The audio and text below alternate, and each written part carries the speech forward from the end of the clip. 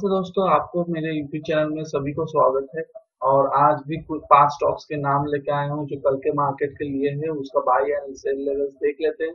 और शुरू करने से पहले मैं कहना चाहता हूँ कि मार्केट डायरेक्शन बहुत इंपॉर्टेंट चीज़ है।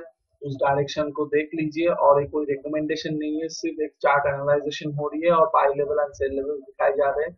इसका क्या साइकोलॉजी है, इसमें हम लोग सीख रहे हैं। और दूसरी पॉइंट है, पिछले दिन मैंने जो वीडियोस डाला था सोमवार के लिए वो भी हम लोग इस वीडियो में देख लेना। इसमें जितने भी छह स्टॉक्स के नाम बोले गए थे तो उसका हर एक लेवल्स को सेल में टच हुए थे। और सिवाय सीएपीएफ को सीएपीएफ पहले बाई लेवल्स को टच किया था, मगर पहले ही एक मिनट में उसने हाई लगा के ओपन इक्वल्स टू हाई लगा के, फिर नीचे आके सेल लेवल को जैसे ही टच किया था, उसके बाद दोनों ही टारगेट उसने रीच किए थे। और दूसरी पॉइंट इंपॉर्टेंट चीज़ है कि उस दिन मार्केट बहुत बढ़िया था। ये चीज़ ध्यान में रखते हुए आप मेरे स्टॉक्स को अपने वॉच लिस्ट में रखिए। जितने भी ट्रेड आप करते हो उससे उसके साथ डायरेक्शन देख लेना बहुत ज़रूरी है क्योंकि मार्केट में आ, हर कोई स्टॉक में न्यूज़ नहीं होता। अगर कोई न्यूज़ होता है वो इंडिविजुअली चलते हैं मगर विदाउट कोई न्यूज़ कोई स्टॉक में अगर आप काम कर रहे हो पैटर्न्स के साथ भी अगर काम कर रहे हो तो भी मार्केट डायरेक्शन की हेल्प लेना बहुत ज़रूरी होता है। तो चलिए शुरू करते हैं। आज का हम लोग चार्ट्स लेवल पढ़ना तो पहला स्टॉक है पीईएल पीईएल को मैंने इस बाई दिए हैं 250 2546 के ऊपर, क्योंकि इसमें बहुत अच्छी लास्ट रेजिस्टेंस था। इसके ऊपर अगर ये स्टॉक चलने लगेंगे तो आप बाई करोगे। और अगर ये 2444.30 के नीचे ब्रेक होते हैं तो आप इसको सेल करोगे। क्यों? 2444.30 क्योंकि यहाँ पे एक अच्छी सपोर्ट है। तो इस सपोर्ट को अगर ब्रेक करके वो क्लोज करते हैं तो आप इसको सेल करोगे। और और एक चीज़ कहना चाहता हूँ कि मार्केट को पहले 10 मिनट देख लेना, थोड़ी सी मूवमेंट देख लेना। अगर चौपी मार्केट लग रहा है तो डेफिनेटली थोड़ी सी दूर रहना। क्योंकि चौपी मार्केट में कोई भी स्टॉक्स फिफ्टीज टू कोई भी स्ट्रेटेजी का हो, कुछ भी का हो, वो फिफ्टी टू फिफ्टी में हो जाते हैं। कुछ काम करते हैं, कुछ काम नहीं करते हैं। तो डेफिनेटली मार्केट डायरेक्शन को माइंड में रखते हुए स्टॉक्स में देखना जो भी स्टॉक्स यहाँ पे दिया जा रहा है, वो एक साइकोलॉजिकल बेस्ड है। मैं साइको विदाउट साइकोलॉजिकल बेस्ड कुछ नहीं दूँगा। तो आपको 2444.32 के नीचे मतलब 30 के नीचे सेल करना है, और 2514.56 के ऊपर बाय करना है। टारगेट्स लेवल होंगे पीएल के 2548 एंड 2571 अगर सेल होते हैं, अगर नीचे ब्रेक डाउन होते हैं तो 2415.75 या नेक्स्ट सपोर्ट जो है 2398 नेक्स्ट स्टॉक्स देख लेते हैं ब्रिटानिया उस दिन भी दिए थे ब्रिटानिया फ़र्स्ट टारगेट हिट किया था एकदम एग्जैक्टली 4805 उसके बाद लास्ट सेशंस में 4803 उसने लो लगाया था। तो मैं फिर भी, अभी भी उस स्टॉक्स को मैं कहूँगा कि इसको सेल करना ज़रूरी है। सॉरी रेडर में रखना ज़रूरी है क्योंकि यहाँ पे बहुत अच्छी एक सपोर्ट जोन है और ऊपर भी एक अच्छी रेजिस्टेंस जोन है जिसको अगर तोड़ते हैं 4872 के ऊपर आप बाय करोगे और 4800.80 के नीचे आप सेल करोगे टारगेट जो होंगे four thousand nine hundred fifteen and four thousand nine hundred thirty three. अगर नीचे आते हैं तो four thousand seven hundred fifty eight and four thousand seven hundred thirty four, इसका सपोर्ट लेवल है। ग्रासिम हम लोग चेकआउट कर लेते हैं। देखिए पहला चीज़ मैं कहना चाहता हूँ, कोई रिकमेंडेशन नहीं है, हम लोग चार्ट एनालाइजेशन कर रहे हैं और दूसरी पॉइंट इसका साइकोलॉजी आप समझने की कोशिश कीजिए। मैं कोई इंडिकेटर दिखा नहीं रहा मैं, मेरा जितने भी वीडियोस है वो कैंडलस्टिक के ऊपर रिलाई करके चलते हैं, ज़्यादा तो ज़्यादा से ज़्यादा। तो आप लोग को मैं इसलिए दिखा रहा हूँ और इसके ऊपर कोई चीज़ नहीं होता है। तो दूसरी बात है ग्रासिम में eleven thousand eleven hundred four point five zero के ऊपर बाई है और थाउज़ेंड एट टू 0.85 के नीचे इसका सेल है क्यों सेल है। यहाँ पे देखिए एक अच्छी रेजिस्टेंस है, यहाँ पे बहुत बार सपोर्ट लेके ऊपर गए थे।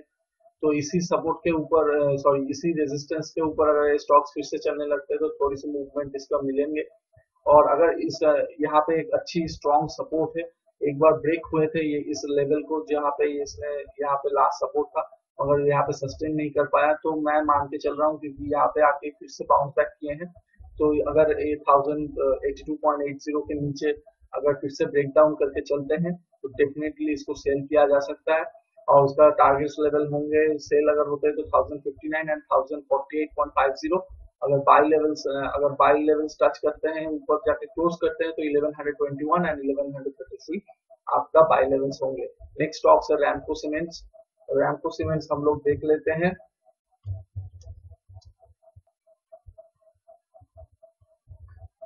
और मैं सबको एक रिक्वेस्ट करना चाहूँगा कि ये वीडियो जितना हो सके आप लाइक कीजिए मेरे चैनल को सब्सक्राइब कीजिए। जितना लाइक आप करोगे जितना आप एक्टिविटी यहाँ पे दिखाओगे तो उतना सारे लोग इस वीडियोस को देख पाएँगे और उसको भी हेल्प होगा।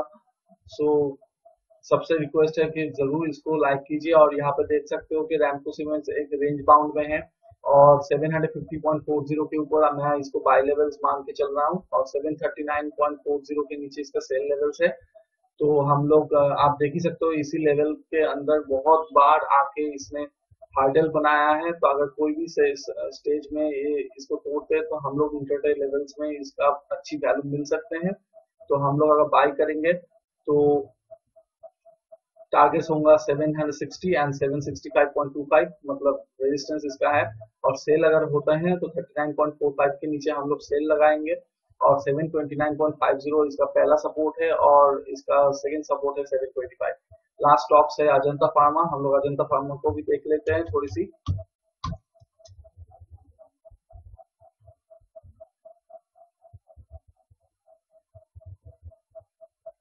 देखिए अजंता फार्मा में भी एक रेंज बाउंड में बहुत बार चले हैं। इसमें ब्रेकआउट ब्रेकआउट तो लगाया था, मगर उसके बाद भी वहाँ से वो गिरना चालू किया था। फिर इसी रेंज में आके बैठ गया है तो हम लोग मान के चल सकते हैं कि thirteen thirteen hundred ninety eight point two five के ऊपर इसका बाई लेवल्स है और thirteen hundred sixty three point eight zero के नीचे इसका सेल लेवल्स हम लोग देख सकते हैं।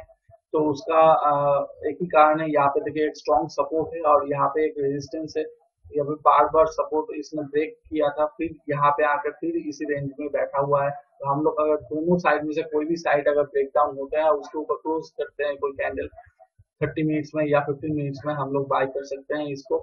और टारगेट्स लेवल्स होंगे इसका thirteen hundred twenty seven sorry fourteen hundred twenty seven point five zero and fourteen hundred thirty nine इसका टारगेट्स होंगे।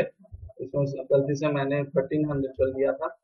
और नीचे के लेवल्स होंगे thirteen hundred forty point five zero और थर्टीन हंड्रेड ट्वेंटी नाइन तो ये था आज कल के मार्केट के लिए पाँच स्टॉक्स की रिकमेंडेशन वैसे तो बहुत सारे स्टॉक्स है और भी दस पंद्रह स्टॉक्स का नाम है, मगर इतना स्टॉक हम दिखा नहीं सकते। हैं मगर इसमें से चुन के मैं फाइव स्टॉक्स आपको दिखा रहा हूँ। और कल की मार्केट के लिए मैं सबसे आगे पहले ही सूचना देता चाहता हूँ कि आप थोड़ी सी मार्केट डायरेक्शन देख लीजिए, क्योंकि मार्केट डायरेक्शन के बिना कोई भी स्ट्रेटेजी हंड्रेड परसेंट नहीं होता है। डायरेक्शन के बिना आप अगर चलोगे तो मैं क्या, कोई भी आपको हेल्प नहीं कर सकता। है तो ये स्टॉक्स आप अपने वाचलिस्ट में रखिए। और अगर ये वीडियो आपको अच्छा लगता है तो डेफिनेटली लाइक कीजिए और मेरे चैनल को सब्सक्राइब कीजिए और जितना हो सके इसको शेयर कीजिए। Thank you